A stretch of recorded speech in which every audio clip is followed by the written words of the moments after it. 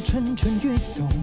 听闻血色的风，颤抖的钟，撞击我脉搏。遍体鳞伤怕什么？就用热血奔涌着狂热。点一束光照亮前方，唤醒我的这一路风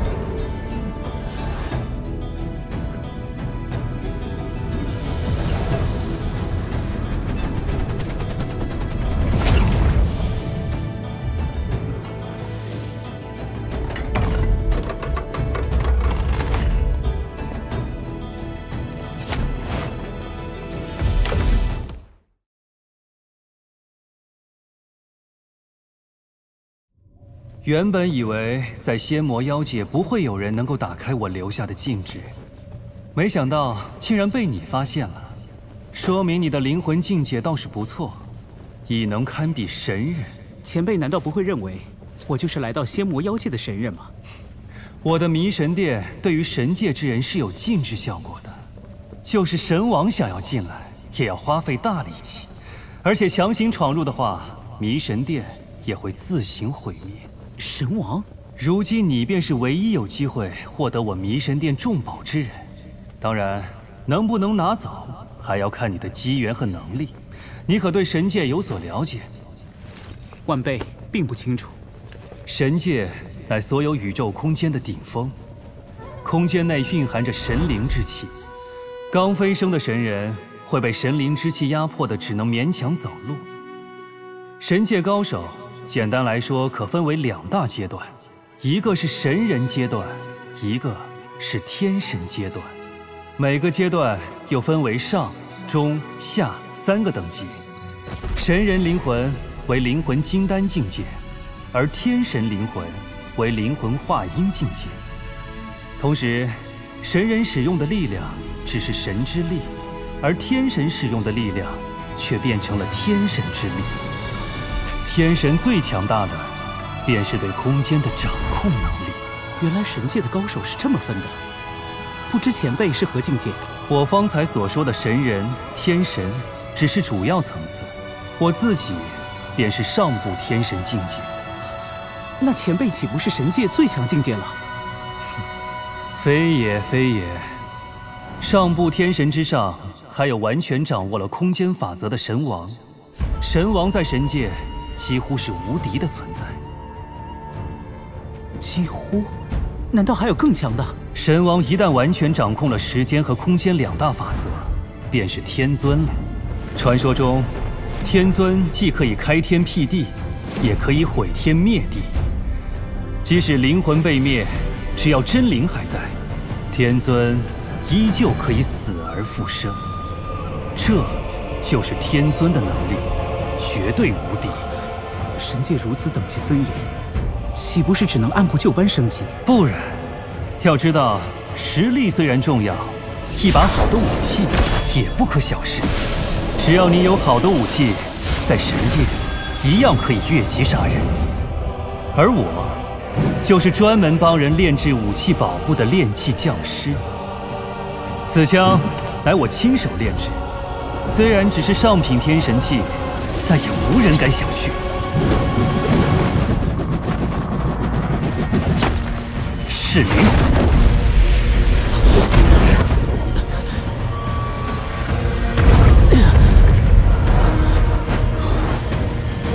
没有元婴之人，倒是世间少有。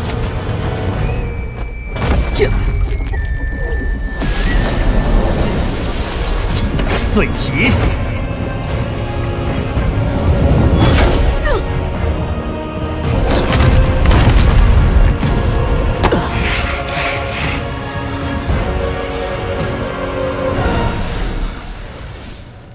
谢前辈手下留情，不过前辈怎知我没有原因？此枪还有碎体噬灵两大功效，就算躲过直接攻击，也会让对方遭受噬灵之苦，而你却能不受其扰，足见你与这枪有些缘分。不像那些神王，也不问缘法如何，只知一味相求。神王也会有求于前辈？那是自然。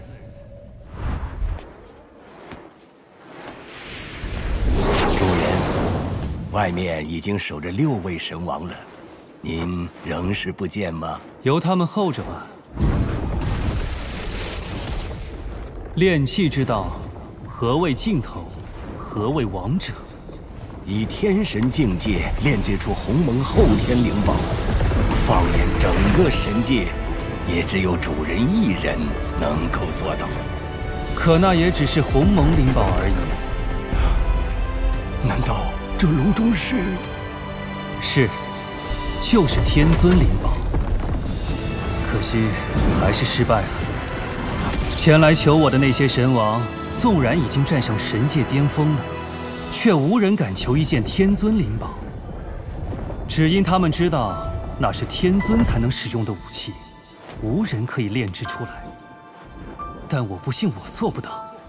阿福，我要出发去寻找一些东西了。我有预感，这次一定会成功。那么，这里便交给你了。啊，阿福领命。天尊灵宝，小贝，你我既是有缘之人，我自然不会让你空手离开。但你能从迷神殿带走什么，还要看机缘。何谓机缘？前辈，前辈。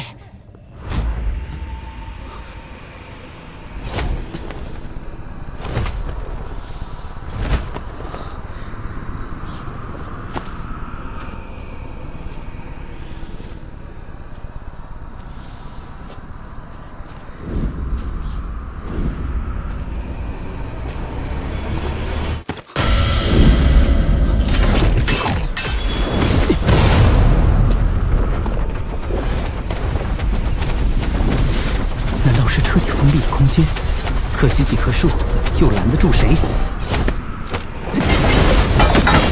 看了这么久，竟毫无变化。不，看似毫无变化，其实就是千变万化。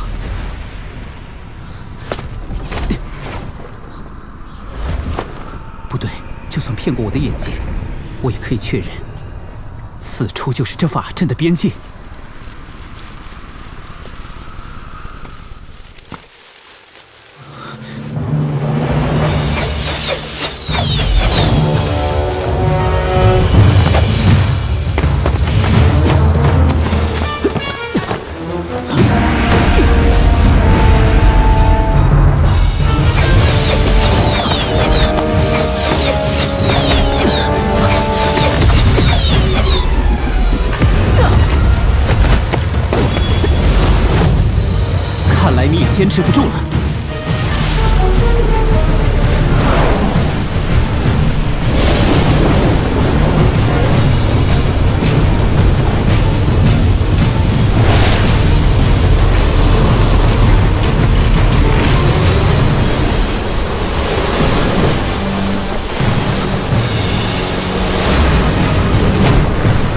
这下，看你怎么变！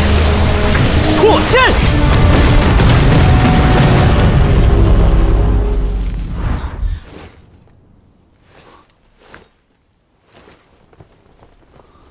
这虽是我最简单的阵法，但你既能不为幻象所迷，找到阵书所在，又能破了这阵书，也算是有些天赋。方才那根长枪就在花坛旁，你只需要在长枪枪杆上写一个“圆”字，便可破了那长枪表面上的禁制。这便是我送你的礼物。前辈，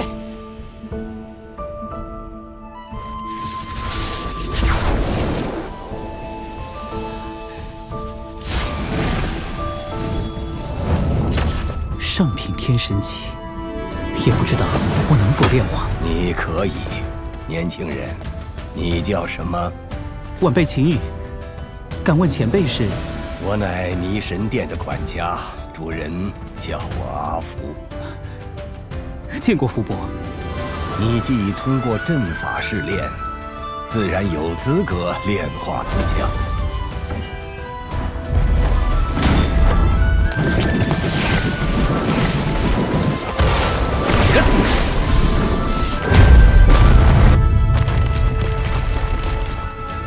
虽然只是区区上品天神器，但却被我赋予了碎体、噬灵两大鸿蒙灵宝才有的辅助效果，定然可以将攻击力提升十倍。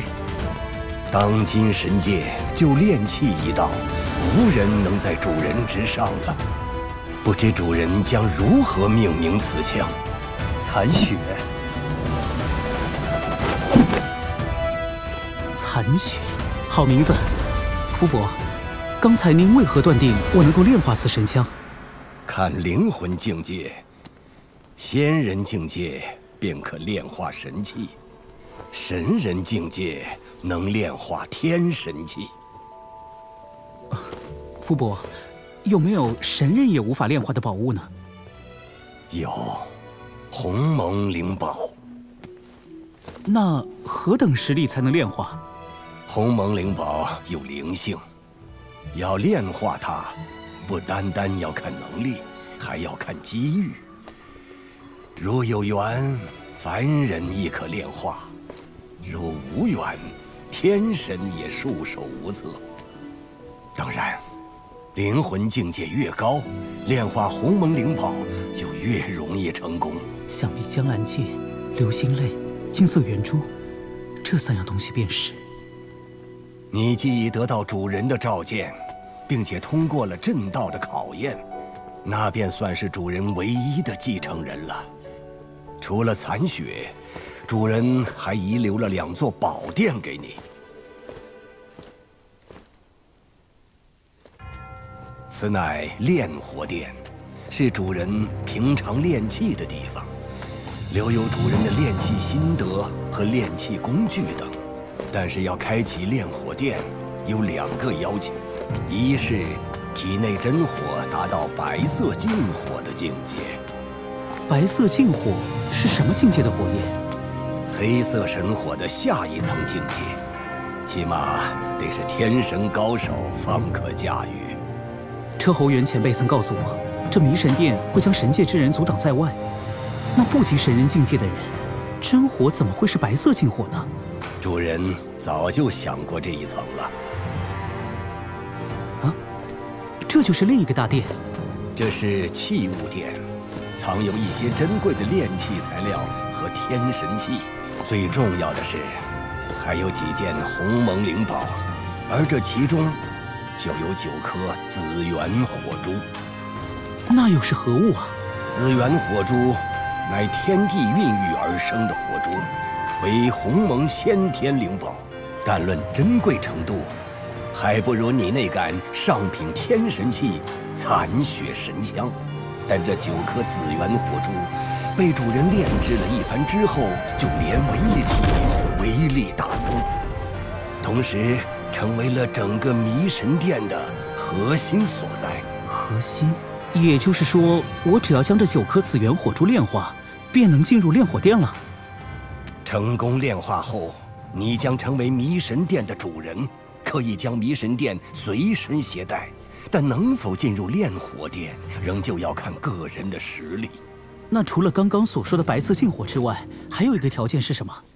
达到白色禁火境界之后，你就可以开启炼火殿大门。但一旦进入，就会遇到三座大阵，你必须一一破除，才可以掌握炼火殿。这三座大阵与车侯元前辈方才所练大阵相比呢？主人方才只是探查你的天赋，而这三座大阵才是对你能力的真正考验。罢了，炼火殿以后再说，我先来开启这器物殿吧。主人曾说过，要开启器物殿，要靠神识找到这大门的机关。嗯。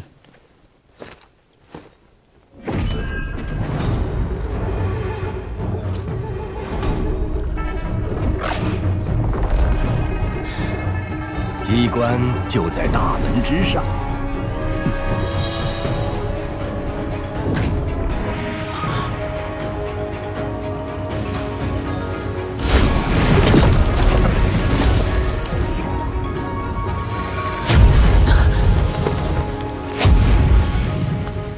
很好，现在你需要将大门拉上去。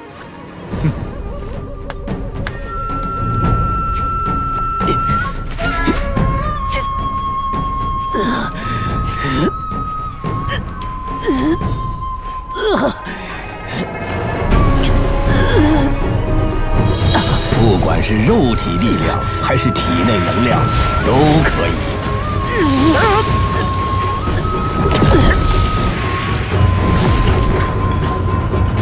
设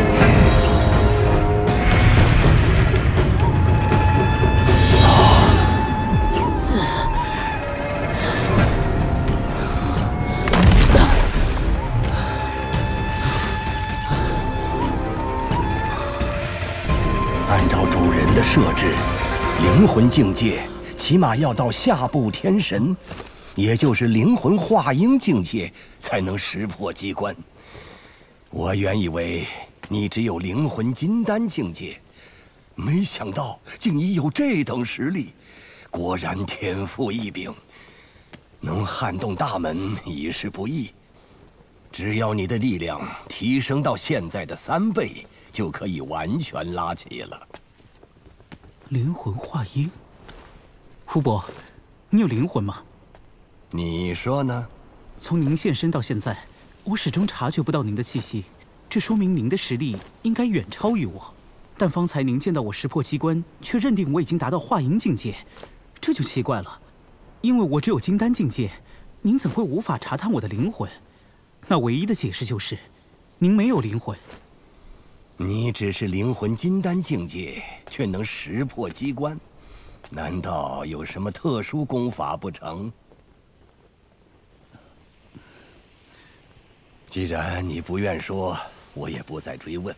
不过，你只从我一次判断错误，就能猜到我没有灵魂，倒是心思缜密。我的确没有灵魂，这怎么可能？人最重要的就是灵魂，没有灵魂怎么可能存在呢？你说了，人最重要的是灵魂。那您是？我是被主人炼制出来的傀儡。傀儡，在神界，一些炼器高手会直接炼制出一个身体，然后赋予一些简单智慧，便成为了一个傀儡。只是炼制傀儡极难。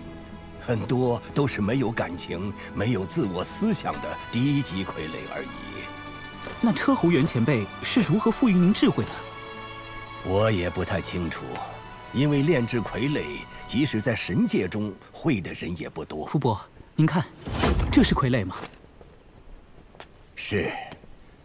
单看这傀儡，便知炼制之人手艺极高。只用一些普通的材料。竟然会有如此成果，那这傀儡实力如何？试试方知。好，傅伯小心了。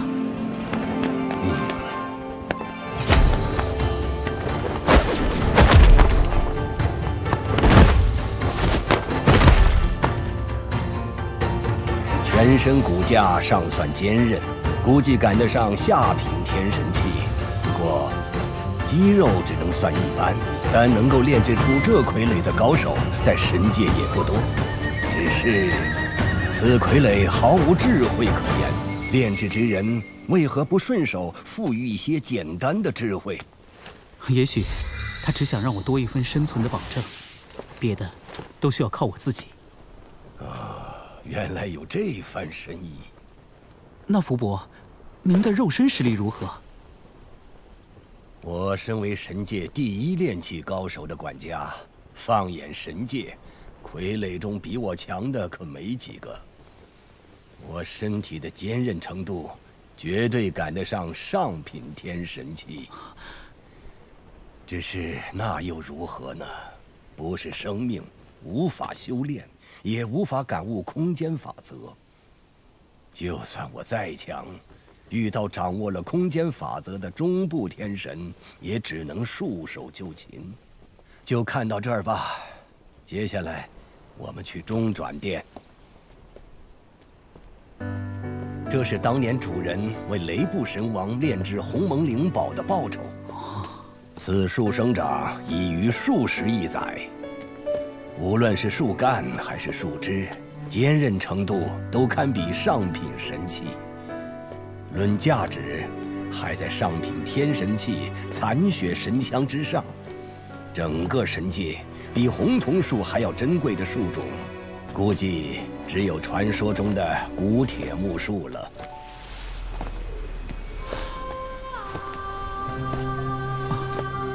傅伯，这些柱子是干什么的呢？与屋顶不连，根本起不到支撑作用啊！秦宇，你应该知道，越高层次的宇宙空间就越稳定。主人以上部天神的实力是无法在神界打穿空间壁垒的，可是，在仙魔妖界，他就可以轻易打穿一条空间通道。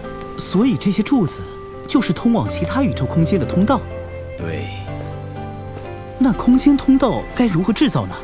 我也参悟不透。空间法则当真如此神奇，竟然可以制造出这样的通道来。主人当时也是为了去往这些空间搜集材料，才如此耗费心神建造的。炼器之人为求材料，竟然可以做到这种份上。恐龙界，流云星上发现有乳晕灵珠；幻魔界，天蓝星上发现有五巧板石；凡人界第三空间，可风星上发现有黑牙泉水；紫玄仙。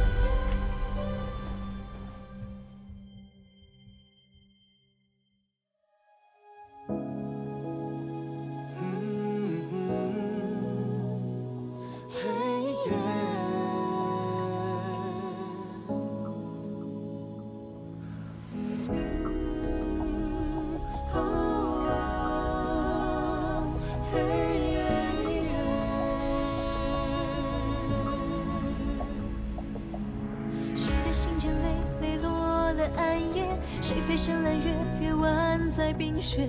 问浩瀚星辰，谁荒落流光？一霎挥剑，似三千。谁半盏残衣，一刀灼初见？谁不惧宿命，命运的难解？恩怨是非，要如何忘却？星星点点，两个暗夜，一点一点，明明灭灭，却默默写一页一页。缘起缘灭，故事一更迭。三界将轰